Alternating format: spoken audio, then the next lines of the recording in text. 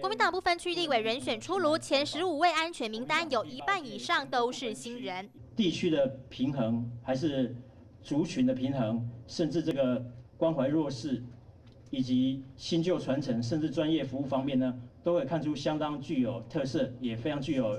理想名单里，国民党跳脱派系，禁用弱势代表而盟执行长王玉敏、弱病权益促进会秘书长杨玉兴，让外界耳目一新。那这是一个很难得而且很重要的机会，因为最重要就是如何能够透过制度的改善，来帮助这些老弱病残者获得更好的生存的条件。而立院常驻军院长王金平依旧蝉联第一，还有现任立委洪秀柱、潘维刚，专业学者则纳入税改学者曾俊威、海洋学。者邱文燕、劳工学者吴玉仁和财经代表李桂明，另外军系立委陈振香和前卫生署长杨志良也确定出现。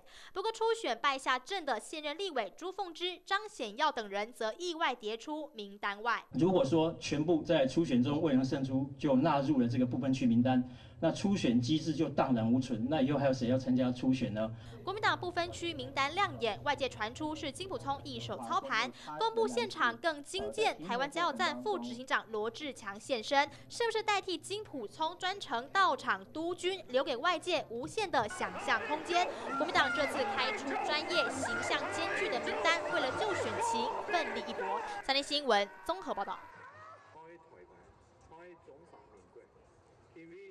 快关